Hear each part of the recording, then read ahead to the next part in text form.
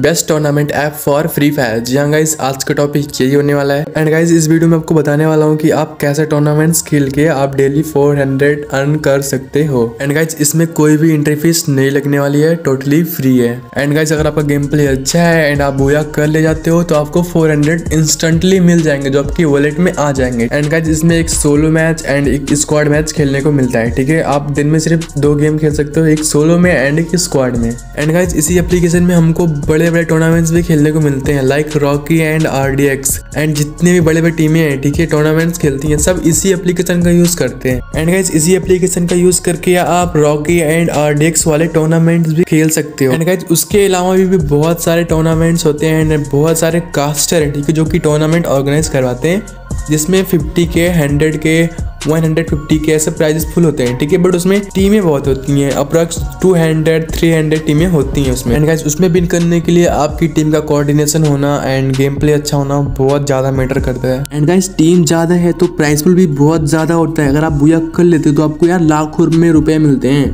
तो गाइज़ मैं बात कर रहा हूँ डिस्कॉर्ड एप्लीकेशन की, जिसमें आप छोटे से छोटे एंड बड़े से बड़े टूर्नामेंट्स खेल सकते हो। एंड गाइज़ ये एप्लीकेशन बहुत सारे लोगों के फ़ोन में होता भी है बट उनको पता नहीं होता कि रजिस्ट्रेशन कैसे और कहाँ से करना है? तो गाइज़ रजिस्ट्रेशन कैसे और कहाँ से करना है? इसे डेडिकेटेड मैंने फुल वीडियो बना दिया है, जाके आप मेरे चैनल पर चेकआउट कर सकते हो। एंड गाइज़ मैं आपको बता दूँ, ये हंड्रेड परसेंट ट्रस्टेड ऐप है।